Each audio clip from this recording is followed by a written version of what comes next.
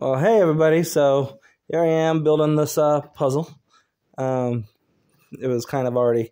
I had my nieces for the holidays come over, and they attempted to do it, and you know they did not do it. So I'm gonna finish it up for them.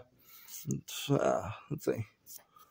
Uh, start off trying to find the corners and the edge pieces, and um, well, it took well, took roughly about two hours, I think, in total time. Um, but yeah, here I am, just get all figured out, and uh, I don't know why, just started kind of seeing what I could put together. Yeah, I didn't see some of the edge pieces, but and then uh, found some. I found them, got them put together finally. Um, got another good take, and here we are, just doing this puzzle, and um, I decided to uh, try to work on red pieces if I was able to. Um, try to focus on the reds.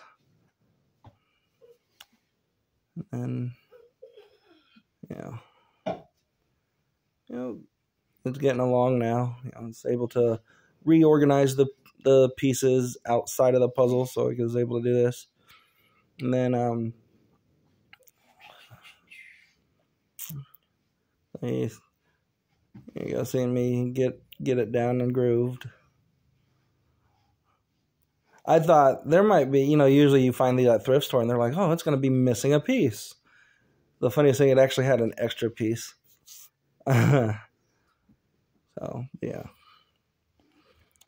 And then, and then mom was wanting to uh, come in and help. And so on the next take in a, in a couple seconds, she You'll be seeing her polished fingers.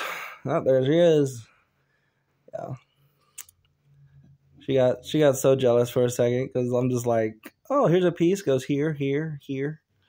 But she helped. glad she helped. She wanted to see a movie, so that's what we're doing after we finish this.